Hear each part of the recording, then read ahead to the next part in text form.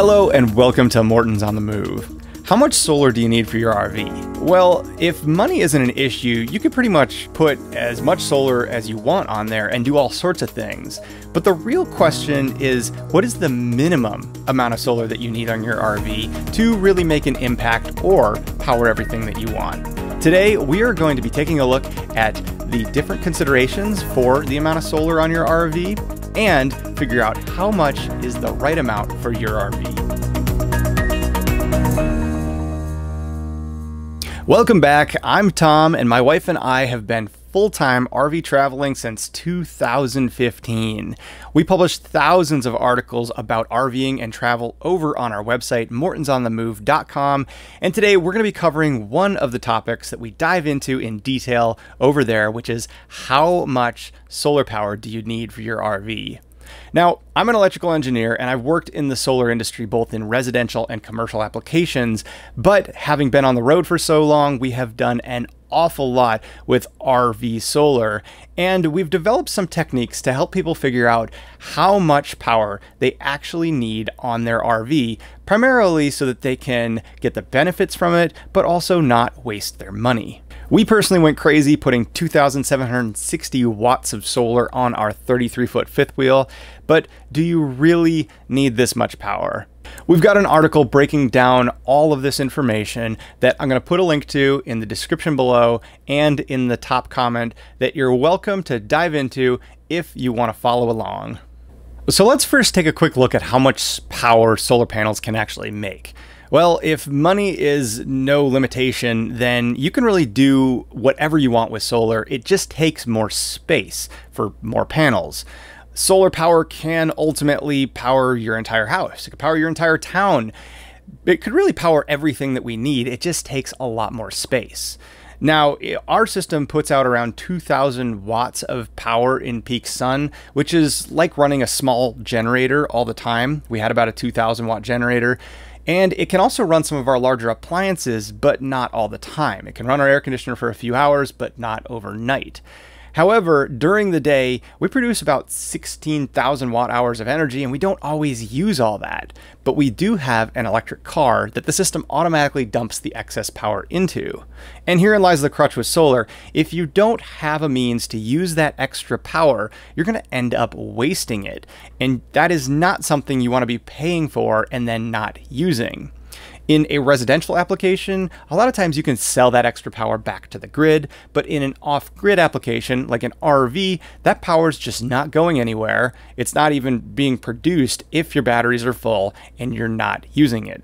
So, we're going to take a look at how to figure out how much you should really put on your RV and not waste that money. Okay, to kick things off with a solar power system design, we first need to think about the limitations of the RV.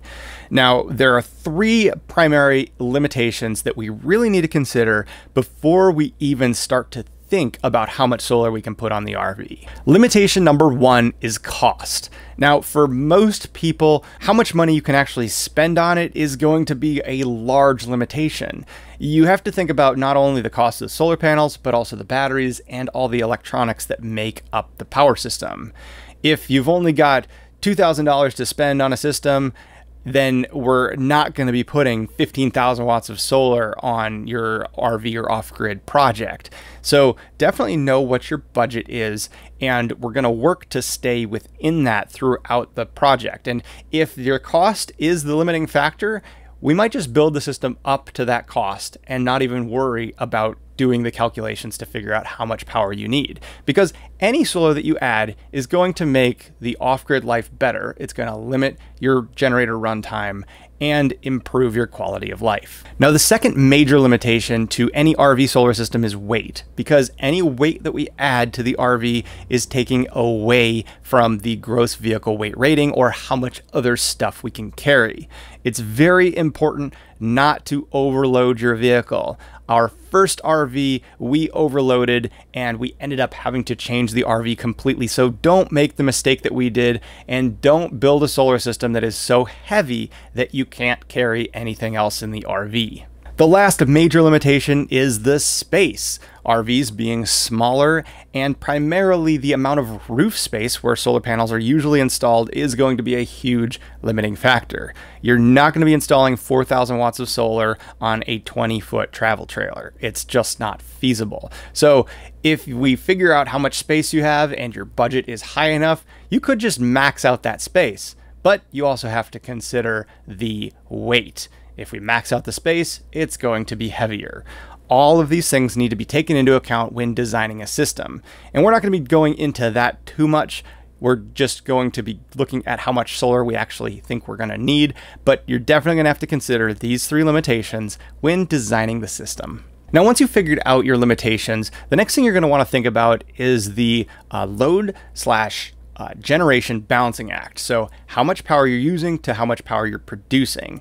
Now, a lot of times a solar system is built, an off grid solar system is built to make up about 50 to 90% of the energy needs over the course of using the RV or the off grid property. The last 10% or 50%, depending on how big you build the system, still needs to be offset with an additional, usually fuel source, so a generator. A lot of times we can design the system to meet all of the energy needs on a sunny day, but if you get cloudy days, a whole bunch of them in a row, we're not trying to build the system to continue to power the RV if it is cloudy, and you're still going to have to have that backup energy source.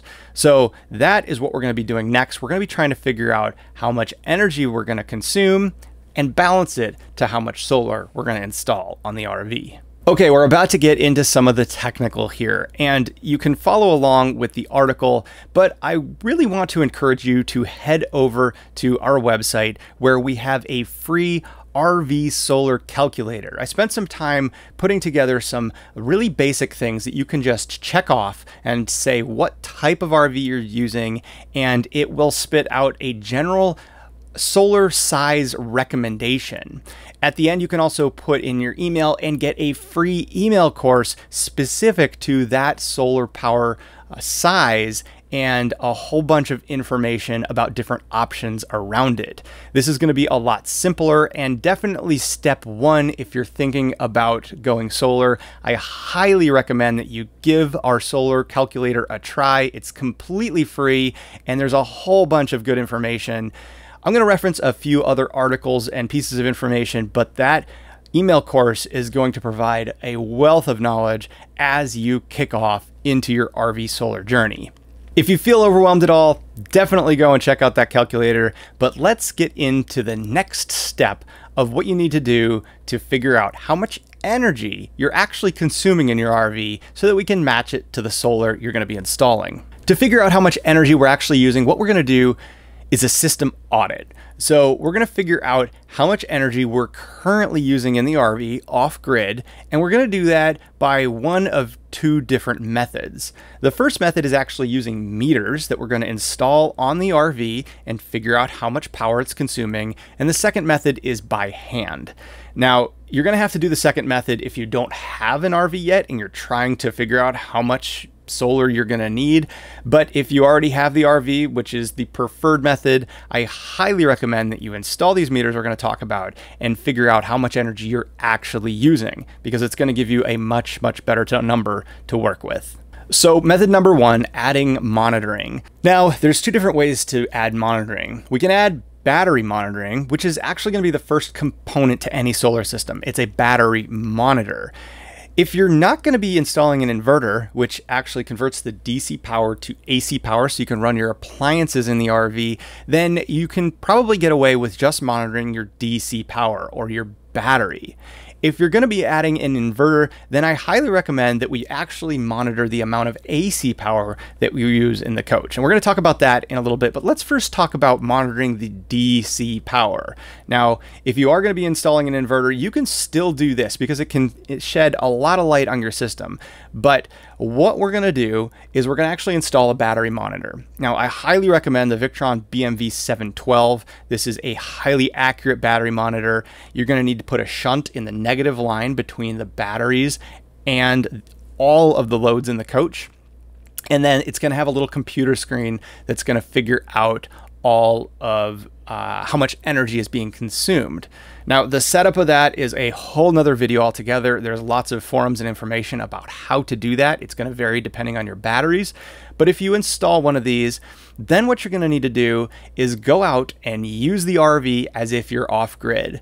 So what this means is if you are hooked up to shore power, disconnect the battery charger in the breaker. So you're going to have the battery monitor set up, make sure the batteries are fully charged, shut off the breaker, and use the RV keep an eye on the battery monitor. Just use the RV as if you were off grid. And as it draws down, when the batteries get to about 50%, uh, if they're lead acid, you can go all the way down to say 20% if they're lithium ion, then you're going to want to recharge them. But when they get to that 50%, you're going to want to note how many amp hours you consumed and how long it took to get there. Ideally, you want to go 24 hours so you can know how much energy you've consumed in a 24 hour period. That is the goal with any energy audit is to figure out how much energy you've consumed in the RV over a 24 hour period. So if you can go 24 hours, great. You're going to get an amp hour reading over the 24 hours. If you can only go 12 hours, then what you're going to want to do is recharge the batteries, but take the amp hour reading at the 12 hours and multiply it by 2. Now, again, you can head to our website. The article has examples of these calculations that should make a lot more sense. But basically, what you're going to be trying to do is calculate how many amp hours you're going to use over a 24 hour period and then multiply it by the nominal voltage of the batteries so that we can get a watt hour number. Watt hours is what we're going to need to calculate to figure out how much energy we need to produce. Watt hours is actual energy, amp hours is more actually a state of charge. So everything we're going to do is in watt hours. So that's how we're going to do an energy audit for the DC side. But if you're going to be installing an inverter, we can do an even easier way to figure out how much energy the coach uses, and that's by using a meter between the coach and the shore. Now, the meter that I prefer to use is uh, the Hughes Power Watchdog. This is designed for RVs, and it also has the capability to disconnect the RV if anything weird happens with the power. I highly recommend having one of these units. It's more than just a surge protector. It can protect you from a low voltage, high voltage, or different issues with the system but it can also act as a power meter. If you want to get a Power Watchdog, Hughes offers a discount for all of our viewers. I'm going to put information about that in the description below. Now, to monitor the system with one of these meters, what you're going to do is make sure that your batteries are fully charged, plug in your RV through the meter, go into the Bluetooth app and reset that meter to zero. Now use the coach for a 24 hour period and you can leave the battery charger on because that's going to be providing power to the DC side as well. So all of the power that's consumed by the coach will be measured in this system. Now, what you do need to do is consider that you are going to be operating in off grid mode, right? So, we're not going to be running the air conditioner and different things like that. If you do anything like that, then it's really going to throw off your numbers. You're going to try to be conservative and only run the appliances that you would if you're off grid. If you are putting in an inverter and you're planning to run your coffee maker or your hair dryer or a CPAP machine overnight, that's perfectly okay. Go ahead and use those devices. But if you're going to be uh, using your air conditioner, that will probably need the generator. So don't use the really high load appliances and try to keep that power consumption down. Now, the Power Watchdog is going to go ahead and give you that number in kilowatt hours, how much power you actually consumed. It's the same number we tried to calculate through the battery meter, but it's going to just give it to you uh, straight out it's gonna you're gonna have to remember to go back. There's no way to actually set it for a 24 hour period. You're gonna have to remember to go back and say it's been 24 hours. That's how much power I used. Now you could do it for a couple days if you want and kind of average those numbers out to get an even better number, but it's going to give you a pretty good idea of how much power overall your RV actually uses when hooked up to shore power and it's going to give us that number so that we can work on figuring out how to offset it with solar. Now, like we talked about earlier, the second method to this whole thing is calculating it all by hand. Now, you can do this by actually going to every single device, looking at how many watts it consumes, and then figuring out how many hours you're going to use it. Now, you're going to be able to go ahead and multiply the watts the uh, product is using by the hours that you're going to be using it and get a watt hour number. Add up all the devices in the coach, and you should have a rough estimate of how much energy you're going to consume in a day's period. Now, this is actually a helpful thing to do if, say, you were doing the battery audit and you didn't run your fantastic vent or your furnace overnight. You can go through and say, a fantastic vent's going to use 720 watt hours, an estimate, uh, over a period if it's hot out, or the furnace is going to burn 1200 watt hours running at a 50% duty cycle overnight. Again, actually doing those calculations can be a little bit tedious and figuring out those numbers can be challenging. But if you feel like doing it, you're going to have to put a big old spreadsheet together and you can calculate an estimate of how much power you need. Again, you can do some of those calculations and add them to your real world usage if you feel like you need to add additional components that you didn't necessarily use during your energy audit. Again, all this information is in a little bit more detail in the article. I highly recommend going through it if you're trying to actually do these calculations. Okay, so we've got how much energy the coach is using. Now we need to figure out how much solar to add to the roof to offset that energy, or at least get an understanding of how much energy the solar we put on the roof will make so we can have an idea of how much we can offset. If we're trying to offset 50 or 90% or all of it during a sunny day. So, how do we go about figuring out how much energy solar panels can produce? Well, this can be a bit of a tricky calculation because there's a lot of variables that go into play. Where your location is, how much cloud cover you get, all these different things really affect how much energy a solar panel is going to produce. However, we do have a general kind of uh, North America nationwide estimate that we can use, which is that a 100 watt solar panel will typically generate on average around 350 watt hours of power per day. So using that, we can really easily divide the number of watt hours that we figured out how much our coach is using. So let's say we uh, determined our coach needs 1500 watt hours of energy in a day. You can divide that by 350 watt hours and get a really rough estimate of how many 100 watt solar panels you would need. So 1500 watt hours divided by 350 watt hours equals 4.28 or 4.28 times 100 watt solar panels or 428 watts of solar to equal the needs for a 24 hour period. Now, this is an extremely rough calculation, and as an engineer, this is not an acceptable way to figure out a real world uh, energy output of a solar panel because uh, it varies massively over the course of the year and location. But there is a really simple tool that we can use to get a much, much more accurate uh, calculation of how much solar a panel is going to put out. And this tool is called PV Watts. I'm going to put a link in the description below to PV Watts, but it is a tool that was put together by NREL, or the National Renewable Energy Laboratories, that allows you to put in a solar system, a solar size, in any location, and it will estimate how much power it will produce each month over the course of a year. It's not designed for RVs, but it can be used. But what we're going to have to do to use it for RVs is estimate where you're going to use the RV and when. So, to do this, what I recommend is heading over to Google Maps, drop a pin in any location that you plan to use the RV, and grab an address. You're going to need an address to use in PV Watts because it's designed for a residential application. So drop a pin and grab any nearby address. It can be a business address, a house address, it doesn't matter, but pick a general geographic location. It doesn't have to be where you're going to be camping exactly, it just needs to be in the region that you're going to be in. Go ahead and take that address, head over to PV Watts, and drop it into the address bar. PV Watts is going to ask to confirm the location, and then in the next step, it's going to start to ask for system information. Now, I highly recommend using that basic calculation of 350 watt hours per 100 watt panel to kind of give you a base estimate to start with. And you're going to take that number of solar panels and plop it into the system information section of PV Watts.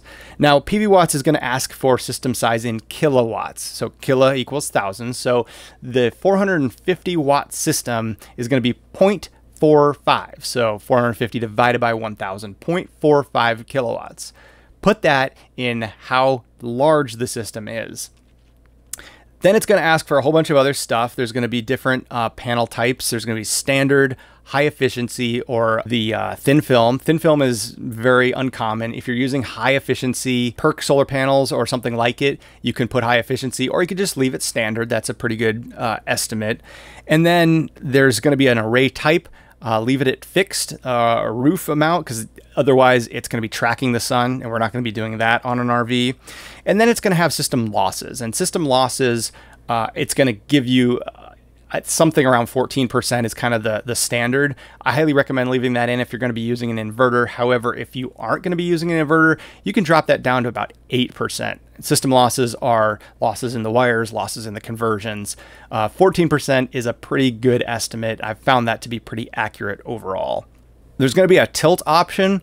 That should be zero if you're going to leave the panels completely flat on the RV. At a later date, you can see what tilting them will do, tilting them towards the south, but let's start out by leaving that at zero. And then the azimuth uh, isn't going to matter. That's going to be how, what angle they're pointed at. If it's zero, that's going to be um, it doesn't matter what angle that is. But if you are going to point the panels, if they're going to be pointed directly south, that azimuth would be 180 degrees. In PV Watts, they're also going to ask about the um, type and the electric rate. Don't mess with these. It doesn't matter. That's for selling energy back to the grid. In an RV, it doesn't it doesn't matter. But it is kind of fun. You'll be able to actually figure out how much energy uh, you'll be saving with your solar panels. Uh, I just you don't really need to mess with that at all. Go ahead and put that information in and hit the next button. So now the calculator is going to take that information. It's going to compare it to information based on uh, the solar availability, where it is located, how much cloud cover and weather the area gets, and it's going to estimate a yearly output, but it's also going to break those outputs down by month for you. So what you're going to do is take this monthly number and figure out where and when you're going to be camping so if you're going to be camping July, August, September, grab those numbers. I usually take the lowest of those numbers, and then you can divide that number by 30.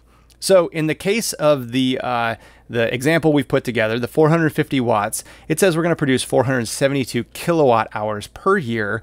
And then we're going to be looking at the summer months, and the lowest of the summer months that will be there is 57 kilowatt hours that our 450 watt system will produce in the location that I chose. Divide that by 30, and it says that we're going to produce 1.9 kilowatt hours per day on average in August.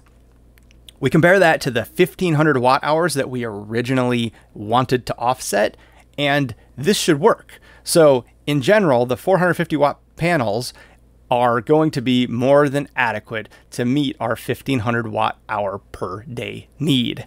Now, keep in mind that this is going to be full sun, uh, so some days you're still not going to meet your needs, uh, but meeting that 24 hour period is just kind of a, a, good estimate. However, if you plan on using heavy loads and appliances, plan to run your generator during those times. Now, I've used PV Watts many, many times to do these calculations. I've even run it against my actual production while we've traveled in different locations and found that its output tends to be very accurate. So I highly recommend using PV watts to give you a really good number of how much energy you'll actually be able to produce and you can compare to how much energy you actually use in your RV. So that's basically it. You can take a look at all your limitations, you can take a look at how much energy you use, and you can take a look at how much energy you will produce put them all together to figure out what the correct answer for your needs will be. The last piece of the equation, which could be an entire another video in itself, and we have a lot of information about it. Again, I'm going to recommend going to that solar calculator because it's going to help you walk through this last step. But this last step is going to be figuring out how much battery power you need. My best recommendation for this is to calculate out how much energy capacity you can store in a 24 hour period and match that to the energy needs of the coach for a 24 hour period.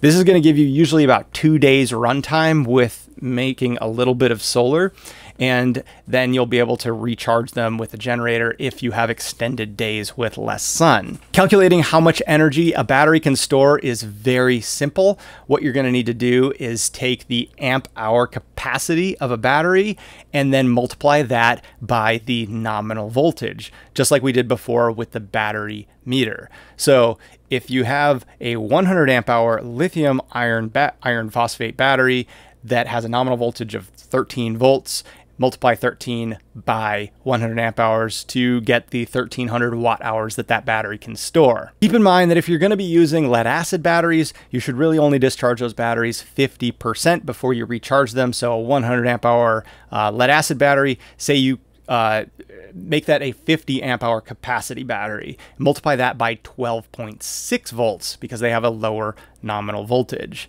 As you can see, immediately the lead acid batteries have a lot less capacity in them. They weigh a lot more. And truthfully, I never recommend lead acid batteries in a solar power setup because they are just not ideal for it.